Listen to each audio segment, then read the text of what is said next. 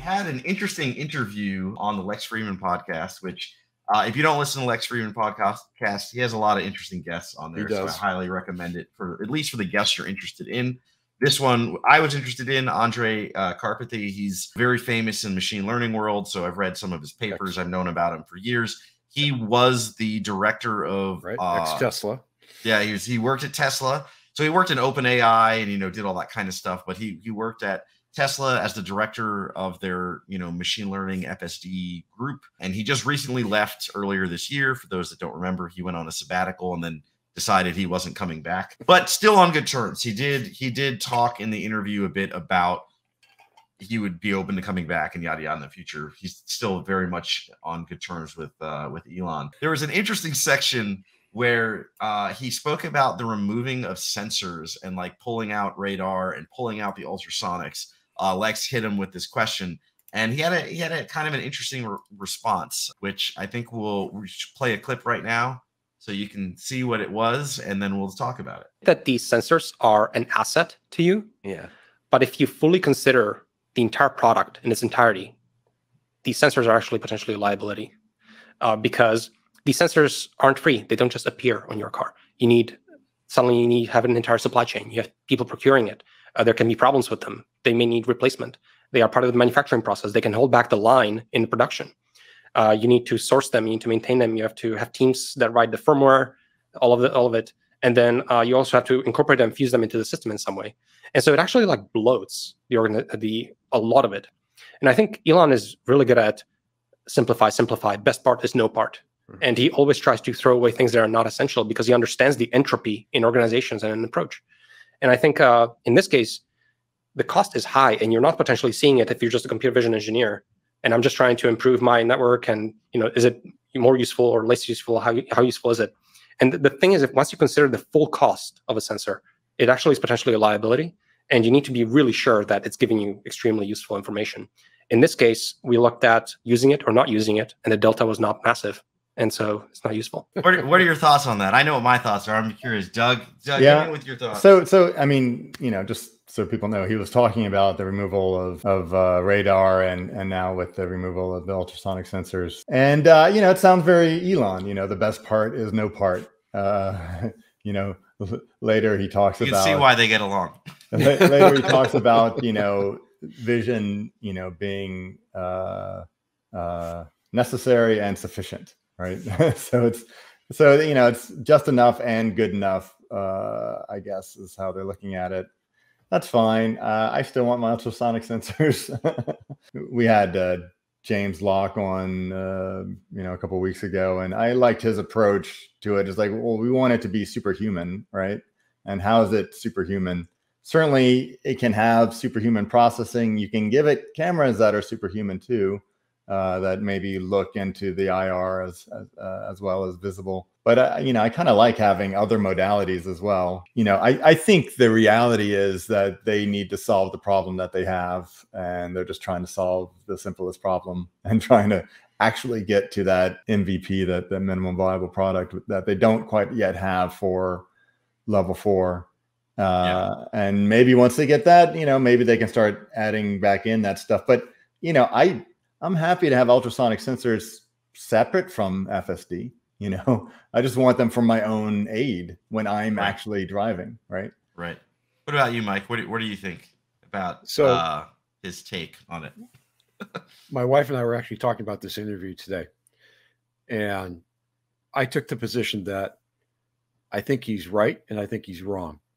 I, I think he's right short term that yes, there are supply chain considerations it adds overhead to building whatever it is you're putting the sensors in.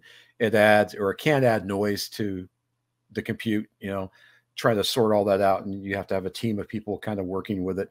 That's great. But later on in the interview, he says, you know, well, humans have used their eyes for years successfully driving. There's no reason we can't use vision successfully driving. And I'm paraphrasing a bit. First thought about that was, sure, we do. And in the, in, in the aeronautic world, aeronautical world, we call that visual flight rules. And that's because humans are kind of dumb and blind at night when we don't have good illumination. we're dumb and blind when you can't see beyond your car's hood because of fog, rain, snow, whatever the obstruction is. And the different modalities of different sensors comes into play heavily right there. As as Doug was just saying, you want your you want your car to be superhuman. You want it to be better than you are. And just having something the same as me doesn't give me a warm fuzzy when I'm doing 70 miles an hour down the freeway and it's foggy. I'm sorry. That's that's yeah. not a good thing. So I think he's got the right idea. I think he's too early in the game for that idea.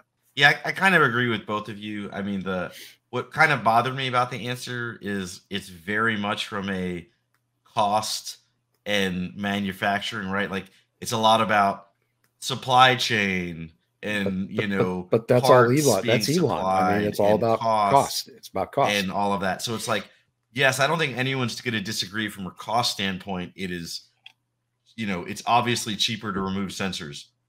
I think from a solving it problem, though, as Doug mentioned, it's probably also easier to only solve it with one uh with one form of sensor, you know, just having camera feeds and not having to deal with additional signals is like a simpler problem to solve from a engineering standpoint. However, define solve, right? Because there's a certain rate of accuracy. There's always going to be some uh, failure uh, percentage of it not working well. And so, kind of this idea of, well, other sensors, radar, LIDAR, whatever, you know, ultrasonics, they can fix some of those error rates and enable you to um to work past them. But uh, by all, also though, he's not wrong, right? We do it with just eyes. Does that mean the car can't do it better with just cameras? No. Um, but I don't know when's it going to be done. Um, and I think the big issue is right, like we adjust, we can we can move our heads, we can wipe our eyes, we can do all those types of things. Um, whereas cameras, it's harder to do that right there in a fixed position. But uh, anyway, it'll it'll be interesting to see. But yeah, I, I guess it kind of echoes some of what we've talked about in previous podcasts, where yeah, it's it's a it doesn't automatically make it worse by not having the sensors, but it does limit your modes of input. yeah. Well, you know, there's something called risk assessment. And, you know, if I'd be curious what the risk assessment conversation was of removing sensors and leaving just vision or leaving sensors, ultrasonic radar, whatever, with the vision. I right. mean, there, there's certainly going to be more risk if you take something away and you don't really have 100% replacement ready yet. Right. And the cameras are not 100% ready yet. Yeah, I mean, I mean, I agree that uh, he said car cameras are going to be a thousand percent powerful in the human eyes. Um, yeah, I mean, eventually, at some point, could you make it superhuman with cameras for sure right so like you know a human eye can only focus on one focal length right at a time you could have multiple cameras at different focal lengths that are focusing and getting clear pictures well, and you got different bands, cameras can yeah. also can see better at night so you can have cameras that work really well in low light you can do mm-hmm. infrared cameras like there's there's many opportunities there to be better than humans but for the same cost and the efficiency and all the other things, it's really hard. We'll have to see where it goes. But as it stands, I agree with Andrej, and I wouldn't necessarily remove the things that Tesla's removing, but in the same situation, maybe I'd make that call with the amount of money at stake. Um, and certainly the car should continue to get better and better, even with them removing sensors.